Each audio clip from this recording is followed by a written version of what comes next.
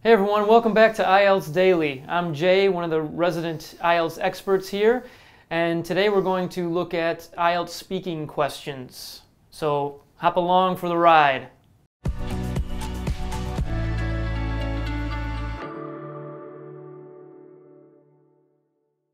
In today's lesson, we're going to look at part two of the IELTS speaking exam. And with me, as always, is my good friend Chris. Chris, how are you? I'm wonderful. How are you doing? I'm good. I'm Any good. exciting news? No, just No. same old, same Yeah. old. so we're going to continue with part two, as usual, a difficult part of the test. And today's uh, topic is a tourist attraction. I've just sent that question to your uh, iPad, so if you can have a look at that, we'll take a look on the screen. It says, describe a tourist attraction you once visited. You should say when you visited it, where it is situated, who you went with, and explain about what um, explain what about it you liked the most. Now, in the in the test, make sure you make lots of notes, but make sure that they're not long sentences. This is not a reading exercise. So I would be really grateful if you could explain some of your thoughts and ideas to us, Jay. Your one minute starts now. Um, yeah, I've traveled quite a bit, so this one's pretty easy. I think I'm gonna go with um, Uluru or Ayers Rock, which is a famous monolith or large stone in central Australia.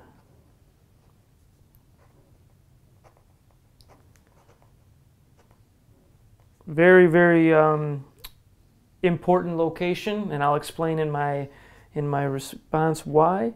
And it's a out in the outback, so it's a real difficult area to get to. It's really cool. So I think I will talk about that in my response. When did you go there? Last August, Mm. 2019. Yeah. It's got about four seconds. Okay, that's your one minute.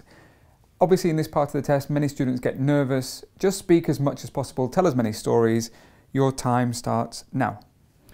So one of the uh, tourist attractions that I really remember is uh, Ayers Rock or Ayers Rock. I, might be pronouncing it wrong. Um, it's also known as Uluru in one of the indigenous languages of Australia. So it's a big, big, massive stone rock or monolith, as we could say, in the central part of Australia, in the outback or the desert. And it's just a real remote area to get to. So it took um, about a week's worth of driving slowly um, to get up there from where I currently reside. And it's, uh, it's just a really grueling and long adventure to get up to where this, this rock is situated. And one of the cool things about the, the, the, the rock is its religious, or maybe not religious, but its sacredness to the indigenous population of Australia. And there's lots of um, historical creationist stories that are that are um, told by the indigenous population that are connected to this rock, and so I guess it's probably similar to maybe a Christian um, would be would consider a church being a really important location to to them. Ayers Rock or Uluru is similar in, to, to the indigenous population of, or indigenous people of Australia um, in, in, in that respect. Um, and I just liked the, the solemnity there, and it was really quiet, and, and, and, and you just felt the, the, the strength and the gravity of this location. And I really recommend going there if you ever visit Australia. But it's really remote, so make sure that you uh, figure out your path and your, your the way you're going to travel because it's it's difficult to get to sometimes. Super. You were one minute 55. Okay.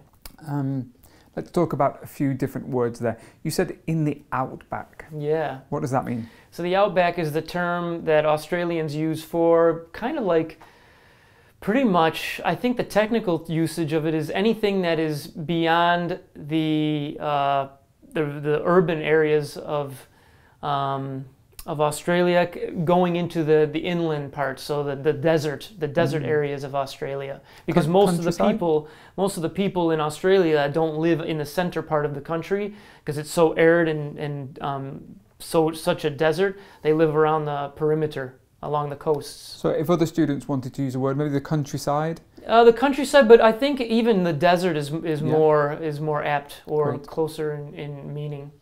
A week's driving, that was great. Mm. Sacredness, uh, something which is sacred. Indigenous, people who originally um, come from that country, right? Yep.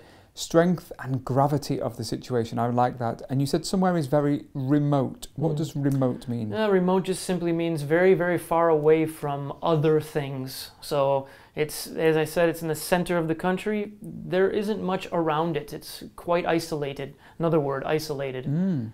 I love that answer. Thanks very much. That's all from me.